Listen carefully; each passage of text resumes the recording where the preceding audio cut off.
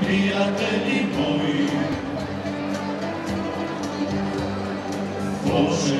Nakon europskih metropola te predstavljanja u Osijeku, Zagrebu i Rijeci, općina Vir ljepote i mogućnosti svog otoka predstavila je i u Zadru. Zadarski arsenal bio je premali prostor za sve one sadašnje, ali i buduće prijatelje najzabavnijeg hrvatskog otoka. Putem promotivnog videa, vrhunske gastroponude i dobrom pismom, Zadrani su na najbolji mogući način doživjeli Vir.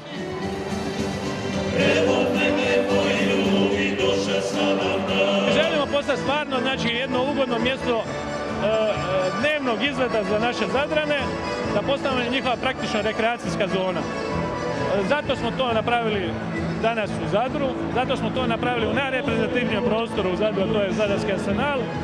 I zato se danas i večeras tu na naš poziv odazvalo preko tisuću Zadrana. Jako smo zadovoljni, oduševljeni smo time koliko se ljudi odazvalo na naš skup, na našu prezentaciju i pokušali smo ovim audiovizualnom prezentacijom u 10 minuta sažeti sve što Vir nudi, a Vir nudi kroz godinu nešto, a to je najbitnije. Znači ne nudi samo u ljetnom periodu, on nudi to isto u jesen, on nudi to u zimu, on nudi to u proljeću, da pače. Kad podijelimo to na godišnjoj razini, u ljetu se samo 30% aktivnosti koje mi turistički objedinjavamo i, i ovaj, guramo na viru dešava u tom ljetnom periodu. 70% smo rasporedili u ovom dijelu van glavne sezone upravo na način e, da se to desi, da, da, da te usluge i turistički proizvod se konzumira vikendima, jer mi smo e, poznata vikendaška destinacija. Sad ima razloga da ti naši vikendaši dođu petak iz Zagreba, jer većinom su iz Zagreba, ali i svih raznih dijelova Hrvatske i da u nedjelju navečer ili čak ponedjeljak ujutro otiđu na posao. E, Zadrani to mogu raditi svaki dan. Znači, ponavljam, samo 20 minuta smo udaljeni od Zadra.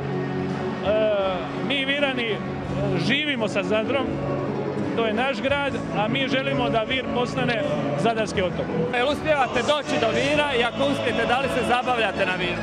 Pa moram priznati da sve manje i manje, zbog toga imam sve više i više obaveza, ali bilo je perioda u mom životu kad sam bila vrlo često na Viru, čak sam tamo jedno vrijeme i radila kao studentica i znam jako puno dragih ljudi na Viru, tamo se osjećam kao doma i ono što mi je posebno drago je da Vir zaista Vira zapravo um, obiteljima, djeci, mladima, um, obiteljima koji žive u teškim socijalnim uvjetima uh, zaista pruža puno veće mogućnosti i programe i pomoći nego li je to slučaj u ostalim dijelovima županije. Kako ocjenjujete njihov turistički bum? Pa evo, meni je drago da oni su onako dosta bili, nosili jednu um, lošu zapravo etiketu na svojim leđima i puno je truda uloženo da se to promijeni, ali ono što mogu reći da u sadržajnom smislu je Vir zasigurno predvodnik u Zadarskoj županiji, jer tamo zaista kad pogledamo ljetnu ponudu sadržajnu, e, svatko može pronaći za sebe po nešto. Moram priznati da se radi o vrhunskim profesionalcima, o vrhunskim turističkim djelatnicima, o vrhunskim ljudima i koji stvarno rade ovako prekrasne akcije i događanja u svrhu promocije svoga mjesta i svoga turizma i svoje ponude.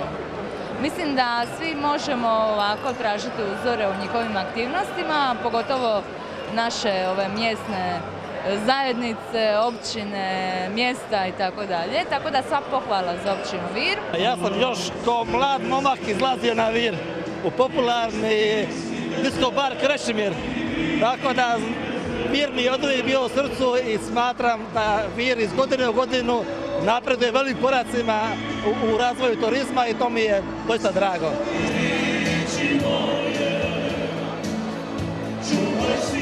Nakon lude zabave u Arsenalu, promocija Vira nastavljena je i dan poslije i to na Zadarskom narodnom trgu, gdje su promotivni materijali ovog prekrasnog otoka uz dobru pismu i još bolju zabavu razgrabljeni u rekordnom roku.